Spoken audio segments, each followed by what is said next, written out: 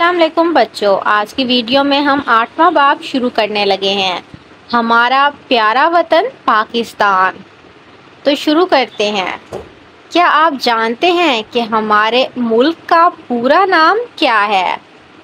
हमारे मुल्क का पूरा नाम इस्लामी जमहूरिया पाकिस्तान है। ये 14 अगस्त उन्नीस को बना। इसीलिए हम हर साल 14 अगस्त को जश्न आज़ादी मनाते हैं। जश्न आज़ादी किस लिए मनाते हैं? क्योंकि हमारा मुल्क, जिसका पूरा नाम इस्लामी जमहूरिया पाकिस्तान है, वो 14 अगस्त उन्नीस सौ सैंतालीस को बना था और अंग्रेज़ों से आज़ाद हुआ था। इसीलिए हम 14 अगस्त को जश्न आज़ादी मनाते हैं। परचम। हर मुल्क का अपना परचम होता है। जो इस मुल्क के वकार की अलामत होता है। आइए मुख्तलिफ़ ममालिक के परचमों पर एक नज़र डालें। सबसे पहले सऊदी अरब का परचम, जिस पर पहला कलमा ला मोहम्मद रसूलुल्लाह लिखा हुआ है। दूसरा, ईरान का झंडा। तीसरा, तुर्की का परचम, फिर चीन का, नेपाल का और मलाइशिया का। हर मुल्क के परचम में मुख्तलिफ़ रंग और निशानात का ख़ास मतलब होता है। आइए पाकिस्तान के परचम पर नज़र डालते हैं और जानते हैं कि इसके रंगों, चाँद और सितारा का क्या मतलब है। यहाँ पर हमारे पास सब्ज़ और सफ़ेद दो रंग हैं और परचम का सब्ज़ रंग मुसलमानों की आबादी को ज़ाहिर करता है। पाकिस्तान में मुसलमानों की आबादी तकरीबन सतानवे फ़ीसद है। परचम का सफ़ेद रंग दूसरे मजाहिब से ताल्लुक़ रखने वालों को ज़ाहिर करता है।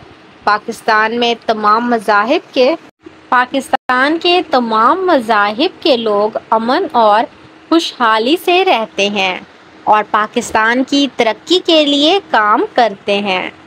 परचम में सफ़ेद रंग का चाँद तरक्की और पाँच कोनों वाला सितारा रोशनी और इल्म को ज़ाहिर करता है। आपको पाकिस्तान के कितने शहरों का नाम मालूम है? पाकिस्तान के आप टोटल चार पाँच शहरों के नाम लाजमी याद कर लें। अब एक तो वही शहर होगा जहाँ पर आप सब देखने वाले बच्चे रहते हैं। उस शहर का नाम लिख दें और बाकी सब उन उन शहरों का नाम लिख दें जिसमें आपके रिश्तेदार रहते हैं, क्योंकि उनका नाम आपको पता होगा और आपके लिए आसानी होगी। आपको वैसे मैं कुछ नाम बता देती हूँ, अगर आपने ये लिखने हैं तो आप लिख लें लाहौर, कराची, इस्लामाबाद, मरी, कोयटा, पिशावर। इसके अलावा अगर आप कोई और लिखना चाहते हैं तो आप वो भी लिख सकते हैं। परचम के रंग और इसकी अलामत को इसके मुतालिक मतलब से मिलाएँ। सब्ज़ रंग। मैंने आपको बताया था कि पाकिस्तान के झंडे में जो सब्ज़ रंग है, वो मुस्लिम आबादी को ज़ाहिर करता है। तो ये हमारे पास इससे मिल जाएगा। जो सफ़ेद रंग है, वो हमारे पास दीगर मज़ाहब के पाकिस्तानियों को ज़ाहिर करता है। यानी कि पाकिस्तान में तो रहते हैं वो लोग, लेकिन उनका मज़हब कोई और है। चाँद और सितारा।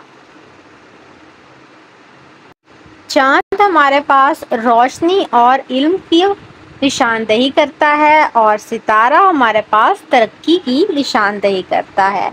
इस तरह से इन सबको आप मिलाएँगे अपनी अपनी बुक्स पर। इसके बाद हमारे पास यहाँ पर कुछ और सरगर्मियाँ हैं। हमारे मुल्क का नाम क्या है? पूरा नाम बताना है तो बच्चों, मैंने आपको पहले बताया था, इस्लामी जमहूरिया पाकिस्तान। हम किस तारीख को जश्न आज़ादी मनाते हैं? तो यहाँ पर सब लिखेंगे 14 अगस्त।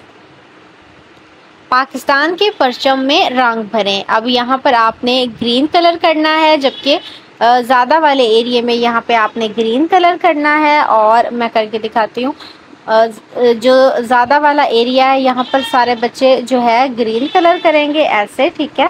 और जो दूसरे वाला है, उसमें सब वाइट कलर करेंगे। वाइट यहाँ पर ऑलरेडी हुआ हुआ है।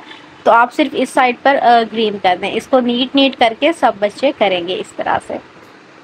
तो ये आप सबने कर लेना है। उसके बाद हमारे पास इसको बैक कर लेते हैं। आज़ाद जम्मू कश्मीर के परचम में रंग भरें।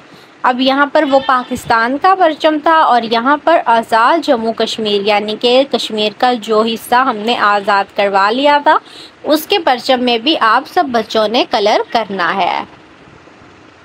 तो बच्चों, आज की वीडियो में हम आठवां बाब हमारा प्यारा वतन पाकिस्तान डिस्कस कर रहे थे। तो आपको जो है ये चैप्टर कैसा लगा? हमारे मुल्क पाकिस्तान, उसकी आज़ादी, उसका नाम, शहर, ये सब जानने के आपको कैसा लगा? और ये भी बताइएगा ज़रूर कि यहाँ पर मैंने आपको काफ़ी सारे मुल्कों के परचम दिखाए थे। इसमें सबसे अच्छा परचम आपको कौन सा लगा? ये सारी बातें ज़रूर बताइएगा और नेक्स्ट वीडियो में नेक्स्ट बाप को डिस्कस करेंगे। अल्लाह हाफिज़।